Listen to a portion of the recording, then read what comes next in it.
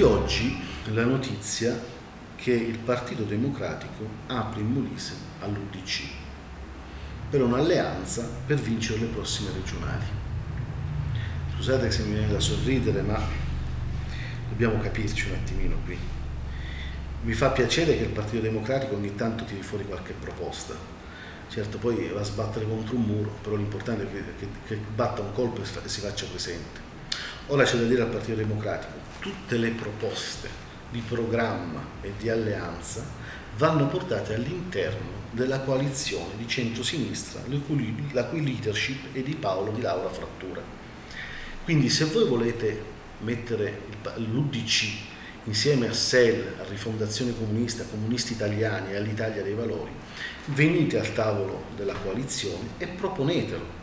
Vediamo tutti gli altri partiti cosa vi rispondono perché sono proprio curioso di sapere cosa hanno da dirvi gli amici di rifondazione di SEL su questa, insomma, la federazione di sinistra e SEL su questo argomento. Perché insomma non è possibile pensare, secondo me, eh, di allearsi con l'UDC del Molise che per dieci anni è stata complice di Michele Iorio.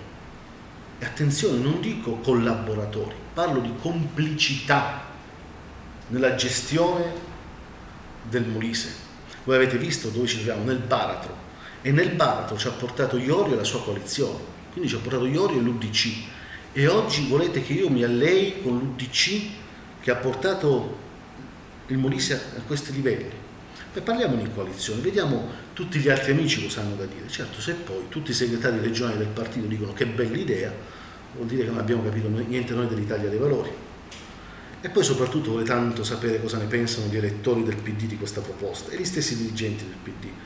Perché insomma uscire con queste trovate senza credo neanche confrontarsi con la propria base è veramente doloroso per il Partito Democratico. Vabbè, comunque, aspettiamo gli esiti. Grazie.